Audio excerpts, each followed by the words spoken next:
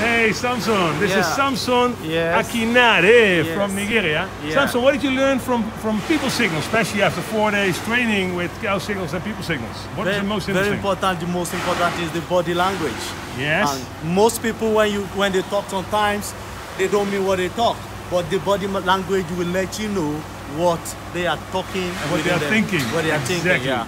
Exactly. So look at the body language. That's the best learning point. Yes. We did uh, body language, influence behavior, and make people uh, getting them into action. Eh? Look, think, act. Yeah. Any more tips that you think about that is really good? yeah. want to share? What, one, one thing I also saw and I learned very well was connecting with your hood audience. When you connect with people, Yeah. especially when you are giving training, Yeah. you need to get people involved.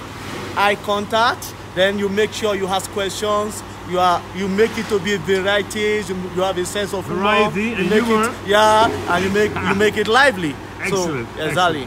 Yeah. Uh, you are very good at it. I saw uh, uh, I saw Samson presenting. It was really amazing. Yeah. He's, he's he's alive, guys, and he's a very good trainer in Nigeria. Yeah. Thank you uh, for uh, for coming, Samson. Thank you very much, Thank yeah. you. Thank this you. was Cow Signals and People Signals, Vista Campina, Indonesia. You had a great week.